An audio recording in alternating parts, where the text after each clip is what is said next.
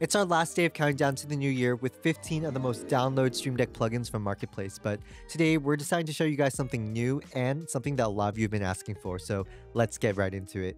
The Wavelink plugin for Stream Deck puts you in total control of how you mix audio on your system. Plus, it just got a nice update with Wavelink 3.0. You can try the beta version of this plugin now, which is what we'll be showcasing in this video. Control your microphone directly from Stream Deck. Mute with one key press and the key will be highlighted in red to show that you're muted, or adjust its gain with faders that display nicely on Stream Deck's keys.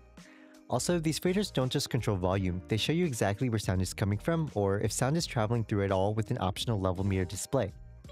You can also mute and adjust the volume levels of applications for yourself while also adjusting them separately for other mixes like for your streams or recordings. For example, when you're live, you can listen to music on max volume, but adjust the volume on your stream mix to 50% so it's not too loud for chat. Apply audio effects with one key press and clearly see which effects are enabled. Use the add to channel action to route apps to your audio channels instantly, so when we open something like Slack, Stream Deck shows it as the foreground app. Press its key and it'll automatically route to our voice chat channel with all its effects and settings applied. You can even toggle between which mix you want to listen to, like your personal mix and stream mix. This would come in handy before stream so you know exactly what chat will hear and adjust it accordingly. So if you want to control your audio like a pro, check out the Wavelink plugin on Elgato Marketplace.